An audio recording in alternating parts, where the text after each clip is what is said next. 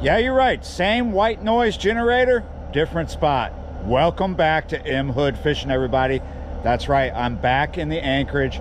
Totally different than yesterday morning. It is just a little after 5 a.m. right now. Starting to see pre-dawn turn on just slightly. So soon we will be able to turn this light off. Yeah, you're right. It is a much calmer morning than yesterday. There's like almost no wind. It's at one. Very calm water out there. Nothing crazy about the current right now, though I'm sure it's strong. Yesterday morning, it started out kind of strong and just got stronger and stronger with that wind. Yeah, different morning, different spot, same anchorage, same ship. It's been in here for like three days now. Come on. Same bait as yesterday, different bag. Dropped this earlier this morning, skipjack. So what I got left in the freezer are bags like this that don't really make sense when I'm by myself, which I am this morning. Yesterday we had a bag that I dropped that had the same amount of skipjack in it, but there was two of us in. We actually went through the whole thing. So I doubt that I'll go through this whole bag this morning. So it means I don't want to waste it. Therefore, I got to fish, fish it fast. So hopefully we can get away with more than one session with it before it goes totally soft. It's been frozen for quite some time. So yeah, I'm cutting two different size baits. We're gonna go with a head piece and then a smaller piece because we're doing the same setup as yesterday. Maybe you didn't see that video. I will do a quick rig rundown. A very quick rig rundown. Main line, 80 pound braid, four ounce lead, sinker slide,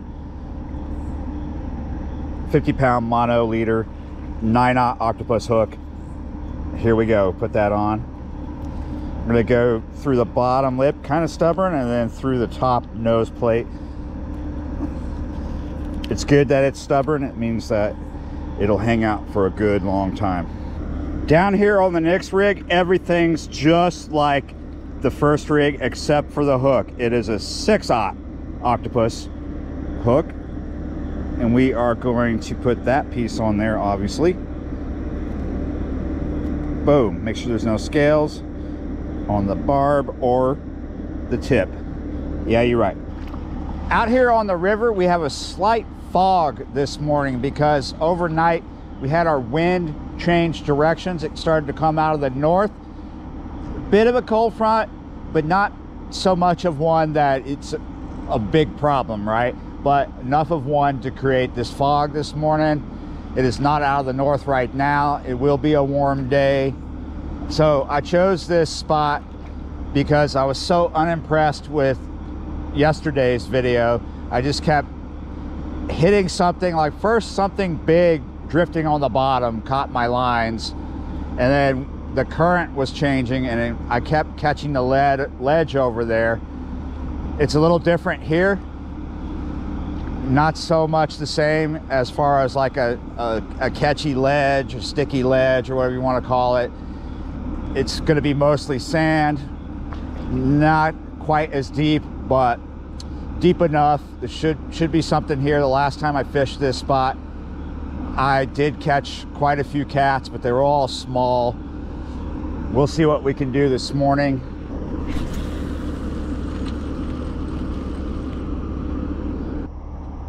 fairly confident that we're going to do something this morning, even though it's shallower than the spot I was at yesterday. It's not really that time of year where you have to necessarily be in deep water to find cats.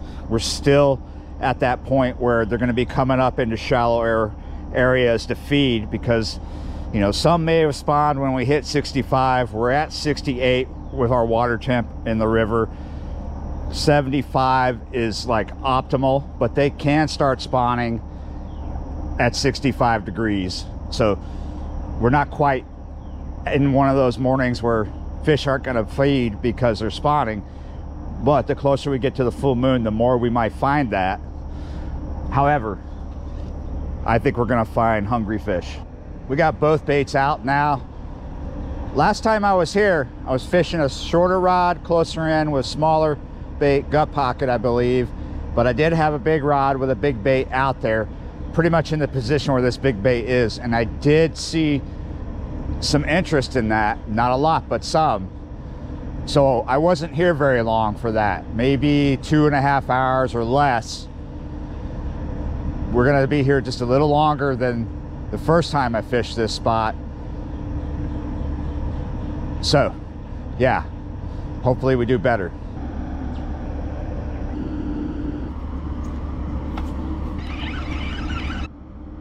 Look at this. Same issue, different snag. So I've been here roughly for an hour. Seen a little bit of a bite on the smaller bait. I thought I would pull the baits up starting with this big head piece. I want to decrease my lead from a four down to a three. Oh, maybe that was the drop off because the line did not break. It just slowly came out. Maybe I'm too far back from it here. Therefore, I can't get the proper angle to pull up it. Even though I'm holding the rod tip high in the air when I try to do that, I'm still pulling my lead into it and coming down with a greater force with that stick instead of cutting through my fingers by doing it by hand got me out. So possibly decreasing the lead might make it make this easier to deal with coming over that ledge or coming through it. Also, it's going to increase my casting distance and that's the main reason why I want to do it. So look at this. We still, whoa, got you. Wet maybe. Still got the head piece. Let's get rid of this four ounce.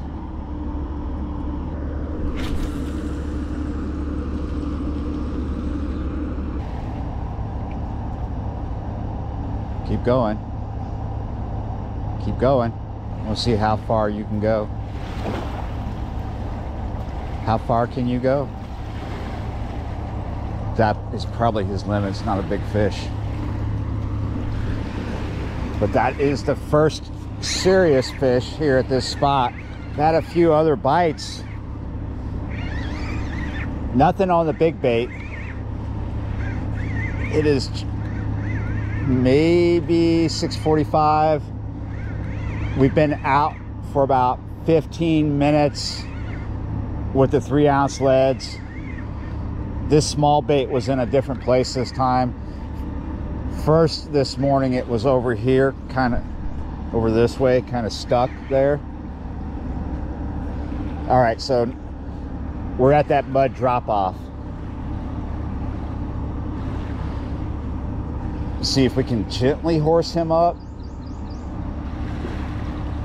Yeah, I'm, I just don't want to lose them right here. Man.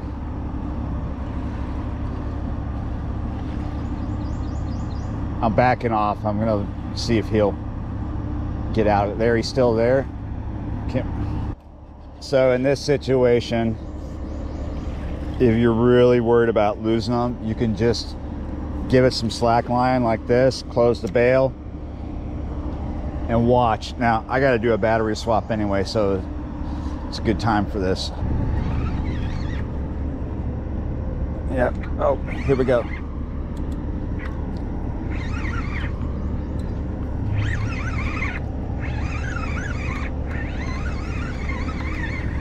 Gotcha. Just had to give him a little time to get into a better place to let me get him over. It's not a very big fish. There's a lot of fat for this. So this is the size pretty much on average that I was getting the last time I tried this spot. It's got me thinking, thinking about changing my mind about stuff this morning.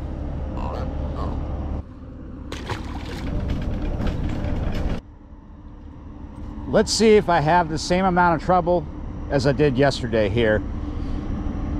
There's no wind still, less current, but the current's stronger here than where we just were. there's a lot of mullet coming through here right now. So that might be something good to think about. That might be a good thing to come here.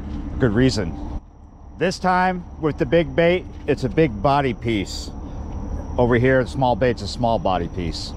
At spots like this where it changes on a daily basis or can change, sometimes using a different lead, heavier or lighter from one day to another can be what you need to do. It might help us get over the, the ledge, not so many hangups.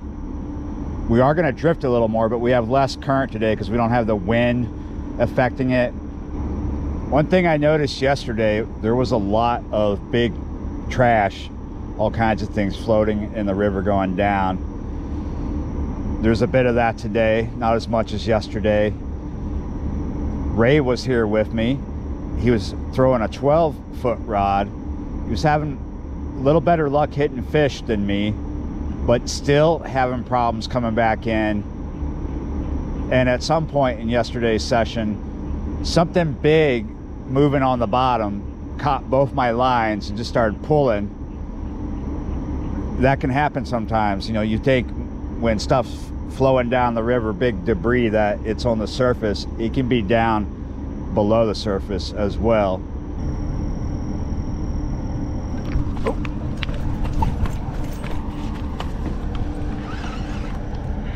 Are you there?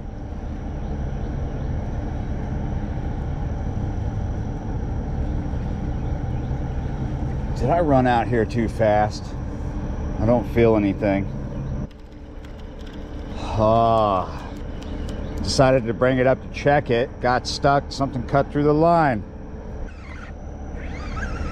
I was pulling this up just to, to check it and something started pulling back. I had no idea there was a fish on here. I'm surprised. I'm just surprised. I had no idea.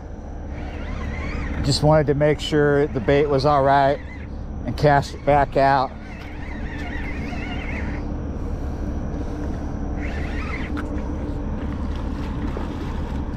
Whoa, I didn't think you were this big to be putting up such a fuss like this. Oh, that's why. Well, when that starts happening, Gaff Top aren't far behind. His tail has been cut. Best way to pick these up. Fingers around right outside the, where the eyeballs are, not in the eyeballs. And we're just gonna, there we go.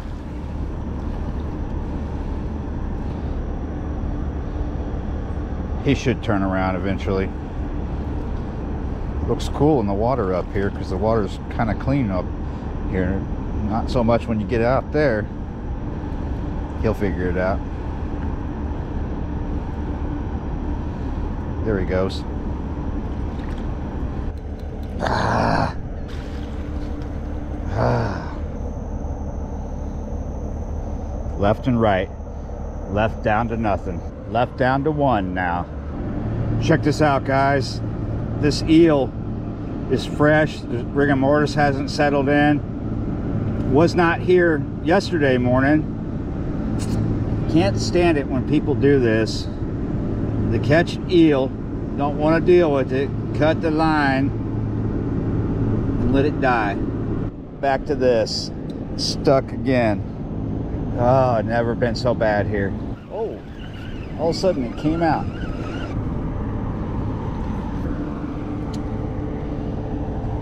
spark plug. Yep. That'll be bait for another time soon.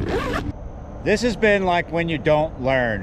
When I eventually come back to this spot or this area, definitely will bring the 12 footers. But yeah, you're right.